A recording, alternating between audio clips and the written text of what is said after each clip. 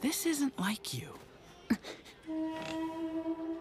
Look, you want to know where Ichigo's going, don't you? I guess.